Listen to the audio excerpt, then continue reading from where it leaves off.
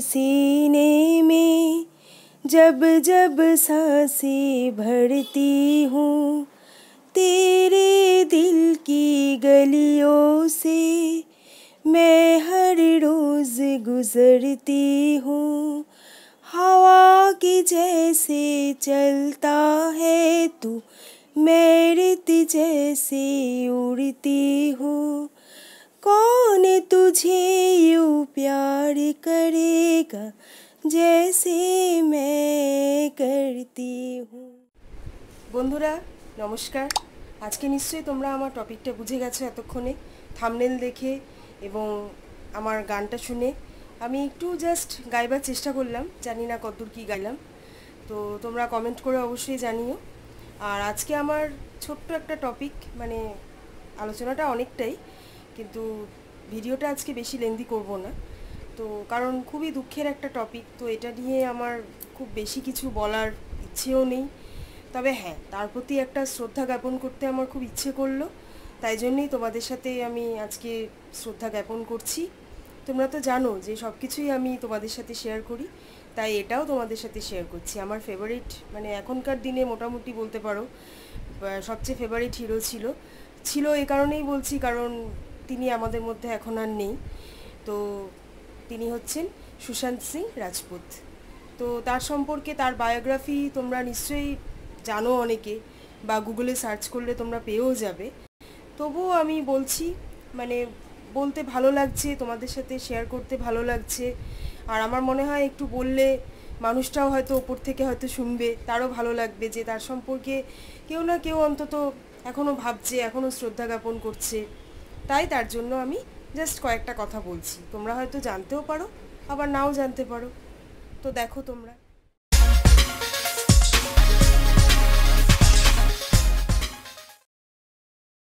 গানটা গাইতে গাইতে এতটাই মনটা ভারাক্রান্ত হয়ে গেছিল যে তোমাদেরকে আমি গ্রিট করতেও ভুলে গেছিলাম। মানে আমি ভুলেই গেছিলাম যে তোমাদেরকে আমার ব্লগে বা আমার চ্যানেলে একটা স্বাগতম জানাতে হবে। তো সেটা এখন হঠাৎ মনে পড়ল তাই আমি ক্ষমা চেয়ে নিচ্ছি। তোমাদেরকে স্বাগতম জানাচ্ছি আমার ব্লগে প্রতিদিনকার মতো। আমার ব্লগ হচ্ছে হজবরল উইথ নবনীতা। তো তোমরা সবাই আমার সঙ্গে থাকো এবং দেখতে থাকো।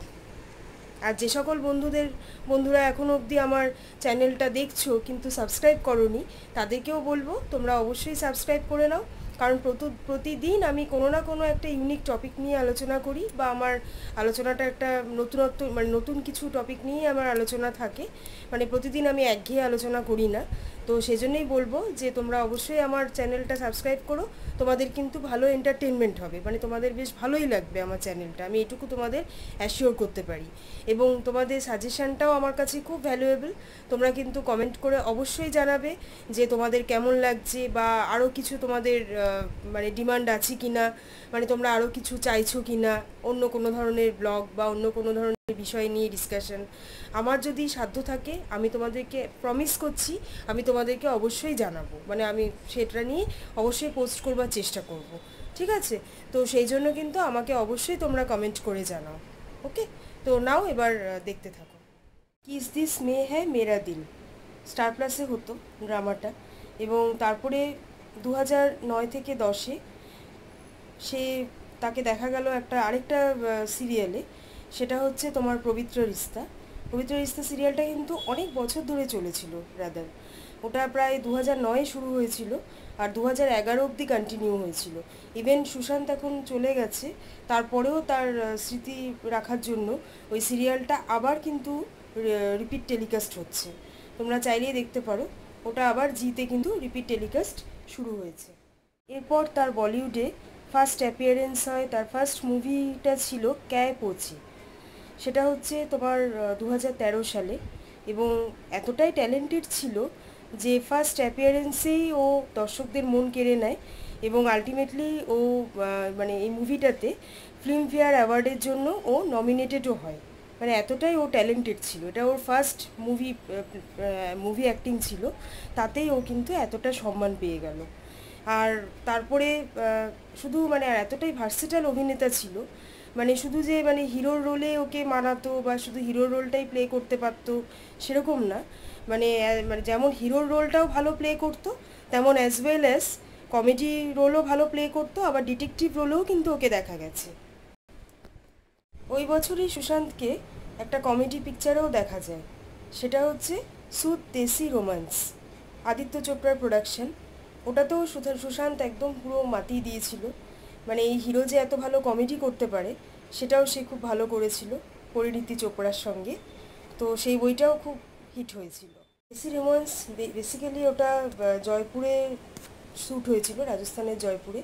এবং সেটা কিন্তু বেসিক্যালি একটা মানে এখনকার ইয়াং জেনারেশনের এই লাভ ম্যারেজ অ্যারেঞ্জ ম্যারেজ তারপরে কমিটমেন্ট রিলেশনশিপ এগুলো নিয়ে যে ভিউ তার উপর বেস করেই গল্পটা ছিল। খুব ভালো গল্পটা হয়েছিল এবং বক্স অফিস হিট হয়েছিল। খুব পজিটিভ রেসপন্স পেয়েছিল এবং এটা টরেন্টো ইন্টারন্যাশনাল ফিল্ম ফেয়ারের জন্য এটা নমিনেটেড হয়েছিল। এরপর পিকেতে পিকে মুভিটাতে আমিরের সাথে তাকে একটা কৌতুক রোলে তাকে অভিনয় করতে দেখা যায়। তার ক্যারেক্টারটার নাম ছিল সারফরাজ ইউসুফ তোমরা সবাই জানো। খুব পপুলার ক্যারেক্টার ছিল এবং সে যে কত বড় কমেডিয়ান ছিল, সেই পিকেতে তার অ্যাক্টিং দেখেই বোঝা যায়।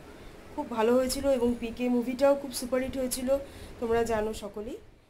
দু হাজার পিকের পর দু হাজার পনেরোতে তাকে আবার একটা ভিন্ন ক্যারেক্টারে দেখা যায়, যেটা সম্পূর্ণ ডিটেকটিভ রোল।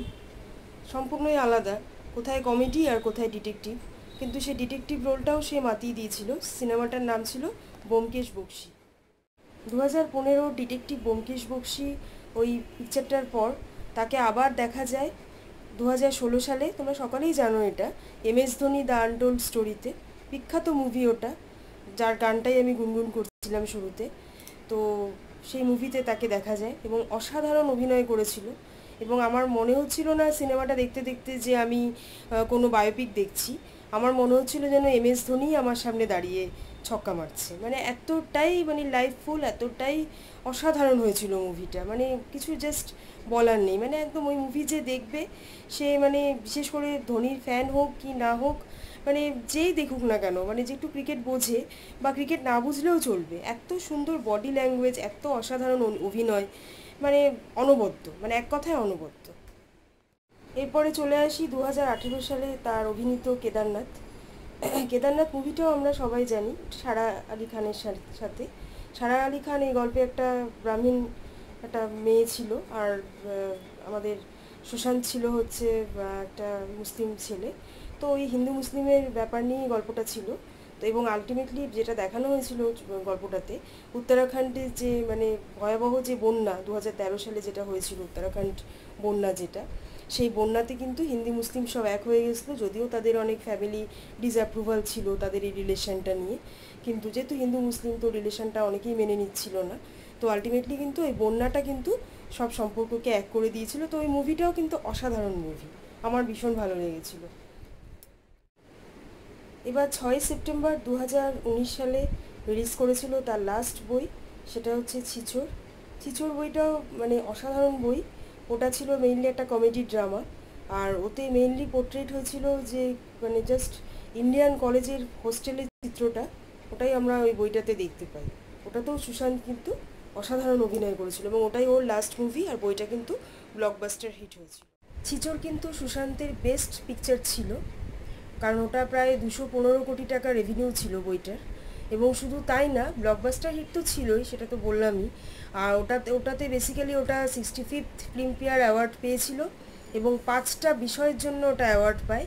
সে একদম মানে একাধারে যেমন বেস্ট ফিল্ম তেমন best editing best director best dialogue best story মানে সব দিক থেকে ওটা সুপার ডুপার হিট হয়েছিল। খুব ভালো হয়েছিল মুভিটা এরপর চলে আসব সুশান্তের একাডেমিক কেরিয়ারটা নিয়ে। তোমরা তো ফিল্ম সম্পর্কে অনেকেই জানতে হয়তো। একাডেমিকটাও জানো অনেকে। তাও আমি বলছি, এটা জাস্ট একটা শ্রদ্ধা জ্ঞাপন অনুষ্ঠান। তাই যতটুকু আমি জানি, তোমার সাথে, তোমাদের সাথে আমি আমার নলেজটা শেয়ার করছি। সেন্ট কারেন্স হাই স্কুলে সুশান্তের প্রথম মানে ইনিশিয়াল এডুকেশনটা শুরু হয়। তারপরে সুশান্ত চলে আসে দিল্লিতে, ওটা পাটনায় ছিল ওই স্কুলটা। তারপর চলে আসে সুশান্ত দিল্লিতে, সেখানে এসে হায়ার এডুকেশন করে। সেখানে স্কুলটা ছিল হচ্ছে কুলাচি হাঁসরাজ মডেল স্কুল। সেখান থেকে সুশান্ত এইচএস পাশ করে। তারপর দিল্লি কলেজ অফ ইঞ্জিনিয়ারিংয়ে প্রবেশিকা পরীক্ষায় সুশান্ত সেভেন্থ স্ট্যান্ড করে। মানে অসাধারণ আউটস্ট্যান্ডিং রেজাল্ট তারপরে সেখান থেকে সে সেই পড়াটা মানে সে মেকানিক্যাল ইঞ্জিনিয়ারিংয়ে সেখানে সে অ্যাডমিটেড হয়ে যায়। এবং কিন্তু সে পড়াটা কন্টিনিউ করতে, করে না।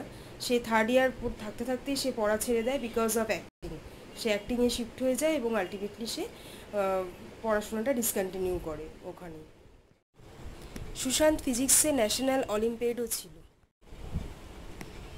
সুশান্ত একজন খুব ভালো ডান্সারও ছিল। সেটাও হয়তো অনেকে তোমরা জানো।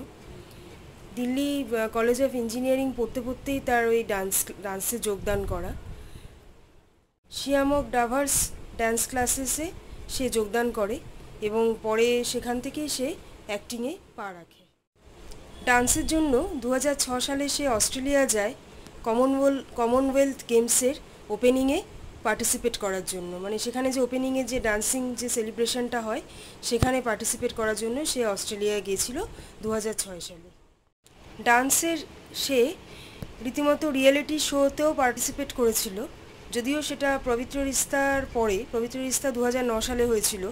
দু হাজার দশে সে একটা ডান্স রিয়েলিটি শোতেও সে পার্টিসিপেট করে। যারা নাচকে দীঘা, ও শোটার নাম ছিল। খুব ভালো হয়েছিল, সেই শোটাও খুব জনপ্রিয় ছিল। এগুলো ছাড়াও সুশান্তের স্পেস, অ্যাস্ট্রোনমি এবং সায়েন্সের ওপরে প্রচণ্ড ইন্টারেস্ট ছিল, যেটা শোনা যায়। এবং মানে সে রীতিমতো এগুলো নিয়ে সে রিসার্চ করতে চেয়েছিল এবং কিছু কিছু ক্ষেত্রে সে রিসার্চ করছিল এবং তার অনেক সিএসআর অ্যাক্টিভিটিও ছিল। মানে প্রচুর সে সোশ্যাল ওয়ার্কও করতো, শোনা গেছে। বিশেষ করে দুস্থ ছেলে মেয়েদের সে পড়াশোনার ব্যাপারেও ইন্টারেস্ট জোগাতো। এরকম কোচিংও ছিল, যেগুলো শোনা যায়। আর এছাড়া সে মানে পরবর্তীকালে তার আর্টিফিশিয়াল ইন্টেলিজেন্সির ওপরেও সে কিছু কোর্স করার ইচ্ছা করে বা সে বোধহয় কিছু কোর্স পার্সিউ করছিল, এরকম শোনা যায়। তো এত বড় মাপের একজন অ্যাক্টার শুধু অ্যাক্টার না, ভালো সায়েন্টিস্ট ওকে সায়েন্টিস্টই বলা যেত ছোটোখাটো। এবং পড়াশোনাতেও যথেষ্ট ভালো ডান্সেও যথেষ্ট ভালো মানে সব দিক দিয়ে মানে অতুলনীয়। মানে কোন কোয়ালিটিটা ছেড়ে তুমি কোন কোয়ালিটি বলবে? এবং শোনা যায় ও খুব ভালো ছবিও আঁকতো, খুব ভালো আর্টিস্টও ছিল। তো মানে সব দিক থেকে মানে আউটস্ট্যান্ডিং মানে ভাবাই যায় না। সেরকম একটা লোক আমাদেরকে ছেড়ে এত তাড়াতাড়ি চলে গেল। আমাদেরকে হয়তো তার আরও অনেক কিছু সে দিয়ে যেতে পারতো বাট সে পারল না। এটা সত্যি আমাদের কাছে একটা খুব বেদনাদায়ক ব্যাপার এবং আর আজকে আর তার সম্পর্কে আর বিশেষ কিছু বলব না। হয়তো অনেক কিছুই আমি মিস করে গেলাম। যদি আমি কিছু মিস করে যাই, তোমাদের জানা থাকে সেটাও কিন্তু তোমরা অবশ্যই কমেন্ট করো। আর আজকে আর মানে ওর সম্পর্কে আর কিছু বলব না। সত্যিই মনটা খুব খারাপ হয়ে গেল। আর ওর মৃত্যু নিয়েও আর কিছু বলার নেই, তোমরা সকলেই জানো। জাস্ট এটুকুই বলব যে চোদ্দোই জুন দু হাজার কুড়ি সালে জাস্ট কিছুদিন আগেই ও আমাদেরকে ছেড়ে চলে গেল। ওটা নিয়ে আমি আর ডিটেলসে কিছু বলব না। তো আজকে মানে আজকে ওর সম্পর্কে আলোচনাটা আমি এখানেই শেষ করে দিচ্ছি। সুশান্ত, তুমি যেখানেই থাকো, ভালো থাকো। তোমার আত্মার শান্তি কামনা করি। আচ্ছা বন্ধুরা এবার চলে আসছি আমি আবার আমার ব্লগটাতে। মানে ব্যাপারটা হচ্ছে যে, যাই হোক, দুঃখজনক আলোচনা করে আমার নিজেরও মনটা খুব খারাপ করে ফেললাম আর তোমাদেরকেও অনেক ভারাক্রান্ত করে ফেলেছি। তাই তোমাদের তো মন ভালো করার দায়িত্ব নিয়েছি আমি, খারাপ করার মোটেই না। তো সেই জন্যই আমি চলে আসছি একটা সহজ ছোট্ট রান্নাতে, যে রান্নাটা কিনা তোমরা জাস্ট পাঁচ থেকে দশ মিনিটের মধ্যে করে ফেলতে পারবে। কিছুই না জাস্ট প্রেশার কুকারে কি করে চিকেন স্ট্রু মানে একটু মশলাদার চিকেন স্ট্রু রান্না করবে, সেটারই একটা রেসিপি আমি তোমাদের সাথে শেয়ার করছি। তোমরা আমার রান্নাঘরে এসো। আচ্ছা বন্ধুরা, এবার চলে আসছি আমি আবার আমার ব্লগটাতে।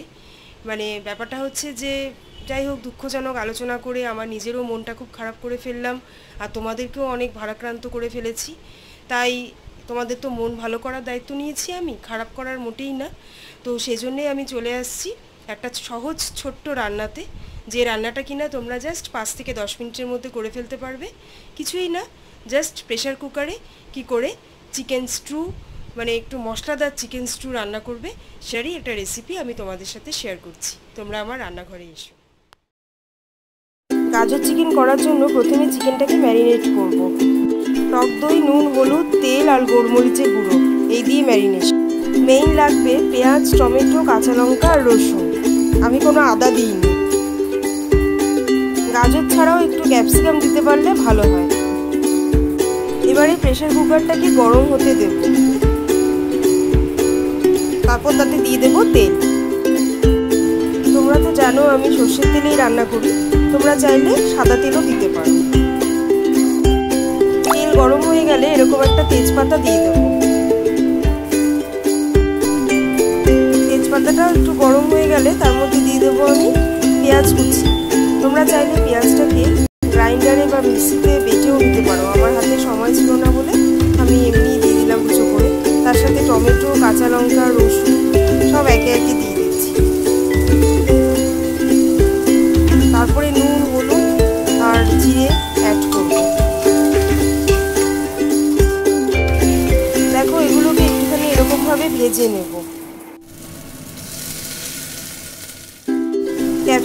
ক্যাপসিকামটাকেও অ্যাড করে ওদের সাথে ভেজে নেব। তারপরে অ্যাড করব স্বাদ মতো নুন। গাজরগুলোকেও অ্যাড করে দেবো। দিয়ে একসাথে সব কিছুকে নাড়িয়ে নেব। ঠিক এরকমভাবে তারপরে অ্যাড করব পরিমাণ মতো হলুদ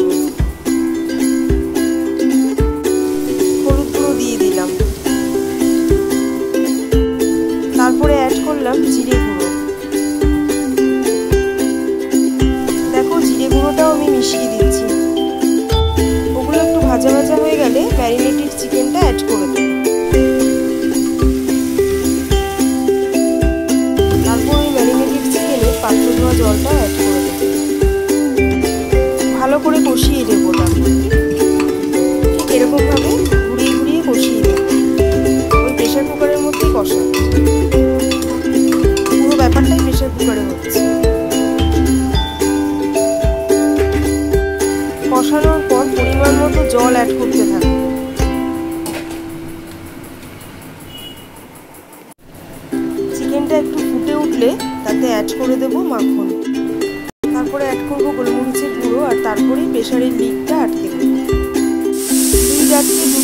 আসা অবধি অপেক্ষা করব। দুটো থেকে তিনটে সিটি আসার পরেই প্রেশার কুকারের স্টিমটা বেরিয়ে যেতে দেবো, গ্যাস অফ করে। তারপরে প্রেশার কুকারের লিডটা খুলবো আমার গাজর চিকেন রেডি এই দেখো, খুব লেস স্পাইসি এবং অসাধারণ খেতে, তোমরা ট্রাই করো বন্ধুরা, এতক্ষণ ধরে আমার সঙ্গে থাকার জন্য তোমাদের সবাইকে জানাই আন্তরিক ধন্যবাদ। তোমরা সবাই সুস্থ থাকো, ভালো থাকো।